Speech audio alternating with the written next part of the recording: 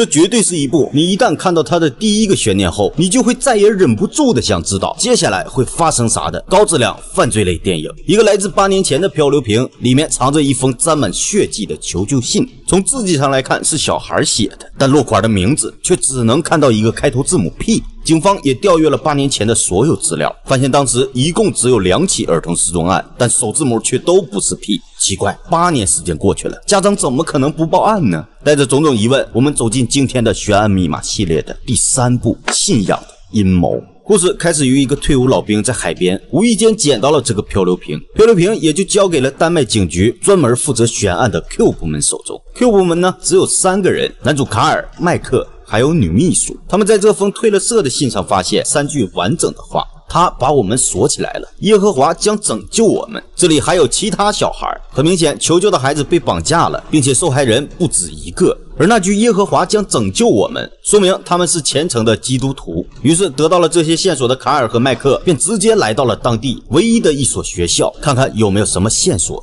果然，老师在麦克的提醒下，依稀的记得八年前有一对小兄弟没来上课。他的父母说送小孩去澳洲了，参加了一个宗教旅游。但奇怪的是，兄弟俩就再没回来过，说是转学了。而这一家人正好是基督徒，弟弟叫吕克贝松，哥哥则叫波尔波尔。好家伙，波尔，这不就是屁大头的名字吗？而更离奇的是，根据这名字一查，发现兄弟俩的父母早已经双双自杀了。看来这里一定有隐情，于是两人便很快的就找到了已经长大的弟弟吕克贝松。虽然他不愿意再提及那段恐怖的经历，但为了配合找出真凶，他还是回想起了那场噩梦。原来那封信的确是他哥哥写的。当时他俩同时被绑架，关在了一个有水的房子里。绑匪要了大量赎金，父母也按照要求把钱给他送过去了，也没有报警。但绑匪却依然当着他的面用剪刀戳死了他哥哥，然后又把他给放了。父母接受不了这残酷的事实，也就自杀了。看到这儿，你们肯定想问，为什么？谁也不知道为什么。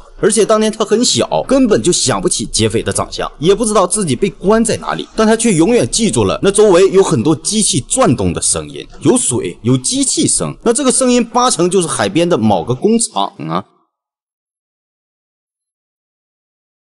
而另一边，在乡间的公路上，一对兄妹被人拽上了车，这一幕正好被路人看到，报了警。而在几天后，Q 部门也得知了这通报警电话，又是同一个小镇发生的绑架案。可这都几天了，却依旧没有家长来报案，跟前面的求救信一案几乎一模一样。难不成是同一个凶手吗？于是卡尔和麦克就在当地警察的陪同下，去了案发地点的附近，调查周围的居民。前几家都很正常，可等到调查到这一户的时候，却引起了卡尔的注意。户口本上写着这家有俩孩子，姐姐和弟弟。可当两人想进屋看看时，却遭到了拒绝。爸爸说这俩孩子送去了瑞典亲戚家了，没在家。你看啥呀？但他紧张的神情和略显双拐的腿，显然隐瞒了什么事儿。不过毕竟是法治社会，警察也不能强闯民宅呀，只好先行离开。可随后女秘书发现了蹊跷，俩孩子根本没去瑞典，而且这家人最近动作很大。于是两人绕了一圈又回来了，说你把养老金、存款啥的都取出来了，是不是？是在准备赎金呢，你可别上当。根据警方得到的线索，也就是吕克贝松的供述，那个绑匪是个变态，给了钱也会杀孩子。大卫一听懵了，只好坦言，就是因为怕撕票，才不敢报的警。而且他们家认识绑匪，一头金发，笑容温暖随和。当初以为他是外地来的传教士，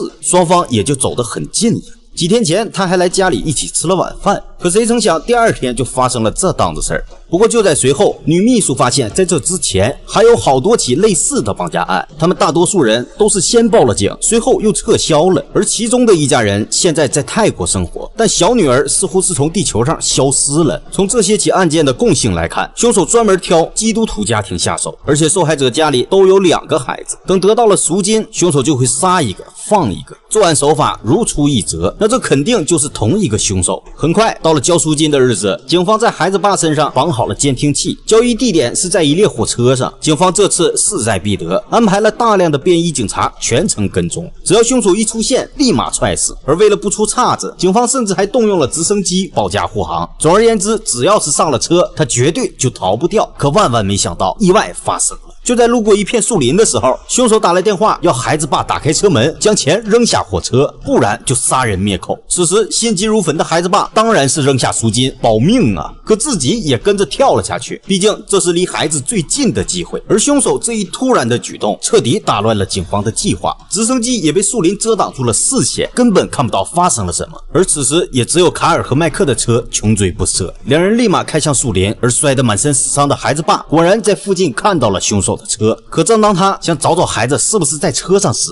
却突然被凶手背后袭击，一剪刀插进了他的身体，残忍的割断了他的内脏。不过幸好卡尔和麦克两人及时赶到，一枪打伤了凶手，但还是被他驾车逃脱了。不过地上掉落的一张照片，似乎是凶手随身携带之物，上面是一个双目失明的女人。如果没猜错的话，这女人肯定跟凶手有莫大的关联。孩子爸重伤，凶手又逃了，两个孩子现在也很可能命悬一线。正当卡尔懊悔自己无能时，一通陌生的电话打了过来，正是凶手。原来卡尔的那一枪彻底激怒了他，凶手放狠话要杀了俩孩子报复卡尔，言语之间透露着全是你卡尔的错，还表示自己很快就会和他再次见面。此时还未离开医院的卡尔突然想到，刚才凶手打电话的时候好像特意强调了还会见面，难不成这货也在医院？卡尔慌忙返回病房，可还是。来晚了一步，凶手果然假扮医生潜了进来，八成之前传教士的身份也是假扮的，为的就是接近这些家庭。凶手先是一针撂倒了孩子的妈妈，然后又拔掉了爸爸的管子。然而就在医护人员冲进来救人的时候，这货竟然还藏在一边调戏了卡尔一把，然后就消失不见了。卡尔恨得咬牙切齿，立马和同事追了出去。可追到车库，这里面又大，车又多，光线还暗，又追丢了。于是两人只好分头寻找。可不料卡尔再次看到同事时，同同事已经奄奄一息，而凶手则神出鬼没的又出现在了卡尔的身后。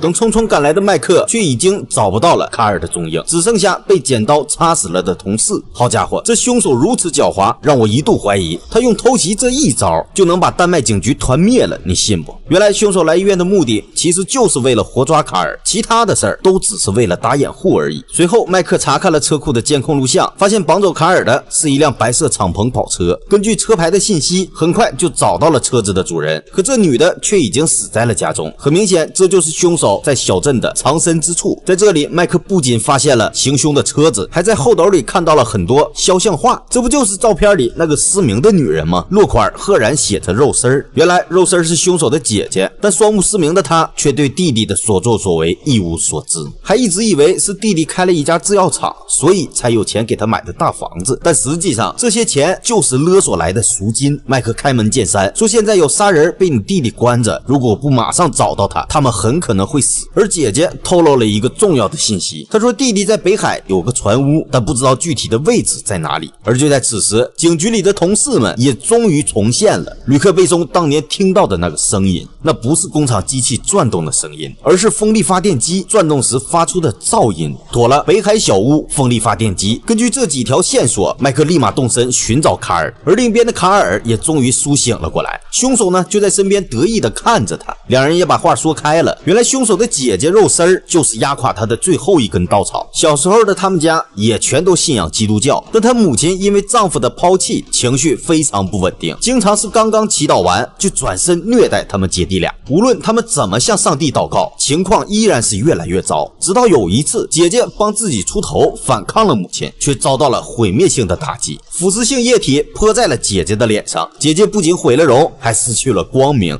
从那以后，他就抛弃了信仰。当他决定拿起剪子的那一刻开始，仿佛是魔鬼给了他力量。杀死母亲之后，他更加确定了魔鬼拯救了他和姐姐。从此，他甘愿成为魔鬼的儿子，摧毁那些拥有坚定信仰的家庭。至于怎么摧毁呢？那就是通过一次又一次的绑架，杀死他们的家庭成员，让这些祷告的人伤心欲绝，直到他们开始绝望，质疑上帝，最终丢掉所有的信仰。这就是他为什么一直假扮传教士，接近那些幸福美满的家庭，然后再痛下杀手。而此时，他最想做的就是毁灭多管闲事的卡尔的信仰。可虽然卡尔是无神论者，但在凶手而言，卡尔对揭露真相有着疯狂的执着，而这种执着就是他的信仰。说着，便把绑架的小男孩扔进了冰冷的水中。他要让卡尔眼睁睁地看着想救的人却没法救。接着又把剪刀放到了小女孩的手上，只要他抬抬手，就能替弟弟报仇了，然后就可以回家了。但小女孩依然坚持了信仰，因为基督教的教义说的很明确，不可以夺走自己和他人的生命，这是无法进入天堂的。所以凶手的目的很明确，他就是要小女孩违反规则，丢弃自己的信仰。这样一来，也就算是又打败了一次上帝。这货简直就是杀人诛心呐，太变态了。不过就在这时，一阵直升机的声音突然传来，显然是麦克找到了这里。凶手也意识到了自己已经暴露了行踪，不管不顾的拔腿就跑。卡尔则趁机让小女孩解开自己身上的铁链，赶紧跳入水中救起了奄奄一息的小男孩。好在男孩还有最后一口气，急救之后终于醒了过来。而赶来的麦克在看到卡尔三人没事后，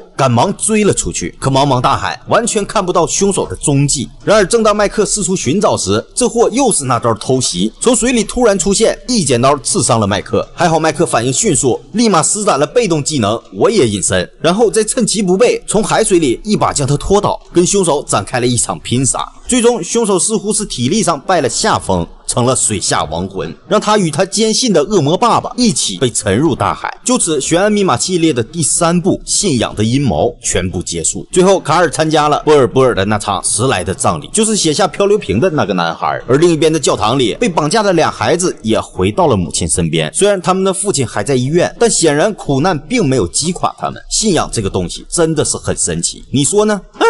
如果你喜欢酱酱熊解说的视频，还请多多点赞、收藏、分享。这是对我最大的鼓励。本期点赞超过十万，我会在三日之内更新悬案密码系列的下一步，敬请期待。